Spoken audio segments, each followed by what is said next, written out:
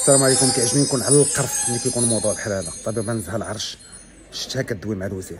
من أجمل الفيديوهات اللي شفت في المغرب في العشر سنوات الأخيرة. فيديو لمواطنه حرة قحة لها حرقة ولها طموح بأن يكون المغرب على قد سميتو. بلد يحترم مواطنيه. من الخدمات اللي كيكونوا في المستشفى اللي هي خدامة فيها يكونوا في المستوى. مواطنة بغات تعري على مشاكل حقيقية كيعيشوها منذ سنوات ومنذ شهور. مواطنة ما اختارتش سياسة السكوت. أه نتكا ونضرب الدكه ونسكت وهذا فلوسي داخلين واللي بغى يطرا يطرا واللي بغى يعيش يعيش واللي بغى يموت يموت. وشفت التجاوب من طرف الوزير. وشتو كيطرح الأسئلة؟ وشتو كيطلب إيجابية؟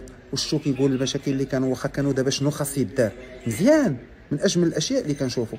من أجمل الحوايج اللي تقدر تشوف في بلاد هي أنه يكون إنسان كيمثل السلطة يتكلم مع واحد المواطن مغربي مهما زعما شنو ما كانت المهمة ديالو وشنو ما كانت المهنة ديالو.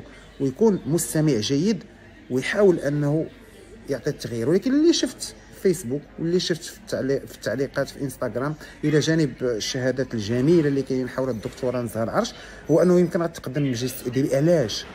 علاش غتقدم المجلس الادبي راه حشومه كانت غتقدم المجلس الادبي على الدوات بحال هكاك مع الوزير؟ ولا عاود غيتهموها ما بين قوسين بأنها كارثة اتهامات لأشخاص دون أن يكون هناك دليل وديك لا. لا. السيده هضرات على الحق. ما بانت ليش أنا منيشه على شي واحد؟ بنت لي كتقول لي كاين. بنت لي عيات. بنت لي الضمير ديالها ما كانش يسمح لها أنها تسكت وهي شافت بزاف ديال الحوايج اللي ما عجبوهاش. الآن حنا كنا أشخاص كنا عندنا مسؤولية تجاه هذا الوطن. واحد السيدة اختارت أنها تهضر. باش ناس واحد آخرين يبقاو يقولوا الحقيقة ويبقاو يقولوا شنو هو المشاكل الحقيقية ملي يتلقاو شي مسؤول ولا ممثل السلطة. خاصنا نعرفوا كيفاش نتعاملوا مع لاله نتاع العرش وخاصنا نشكروها على داكشي اللي دارت. وكنظن بأنه التعليقات في حقها جد إيجابية في الإنترنت. وعلى ما يبدو تا الزوج ديالها اللي هو طبيب عظام وقع له شي مشكل لأنه تا هو دواء فلا. ما خصناش سياسة تكميم الأفواه. ما خصناش نكونوا بلاد اللي كتوجد الآن أنها تبني أكبر مستشفى جامعي في إفريقيا ب 33 طبقة تبارك الله في الرباط. ونكونوا باغيين نعطيو الإمكانيات كاملة للصحة ويكونوا هاد لي بروجي هادو ديال لامو والتغطيه الصحية. ونكونوا عارفين بأن هناك خطوات مهمة اللي كدار ونتعاملوا مازال مع واحد اللي كيهضر بحال هكا. لا أنا ما يعجبنيش الحال والمغاربة كلهم ما يعجبهمش الحال. كنتمنى بأن هذا الموضوع ياخذ حقه بأن هذاك المسألة اللي قالوا ديال المجلس الادبي ما تكونش حقيقية وبأن آه، عباد الله اللي بغين يناقشوا موضوع بحال هكا هذا هو الحوار المجتمعي هذا موضوع مهم هذا يخص صحة المواطن هذا يخص الحياة امد الحياة كيتزاد ملي كيكون التطبيب مزيان. ماشي المواضيع ديال الترند دابا يدويو كل شيء الفقهاء والعلماء والرياضيين والسياسيين والمؤثرين وكل شيء يدوي. الله يعاونكم. من بعد ما فضحات الحالة الكارثية والوضع المزري اللي كيعاني منه قطاع الصحة بالمستشفى الجهوي الحسن الثاني بمدينة الداخلة.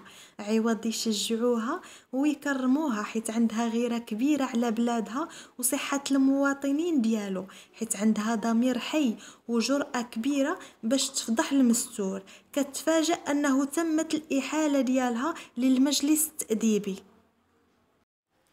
نزهة العرش. هي طبيبة نساء وتوليد بمدينة الداخلة. استغلت لقاء وزير القطاع الصحي باش توصل شوية من بزاف المعاناة اللي عارفينها المغاربة كاملين. ولكن ما لاقينش اللي يقدر يهدر ويوصل الصوت ديالهم واخا المسؤولين عارفين كل شيء ولكن كيديروا عين ميكا كما كنقولوا. السيد الوزير على حسب الفيديو تحط في موقف محرج وما كانش باغيها أصلا تهدر ولكن ما كانش ممكن يقول لها سكتي حيت كلشي كان كيصور. سالات الزيارة والدكتورة عندها مجلس تأديبي نهار الثلاث حيت هضرات على مشاكل كيعاني منها المغرب كامل.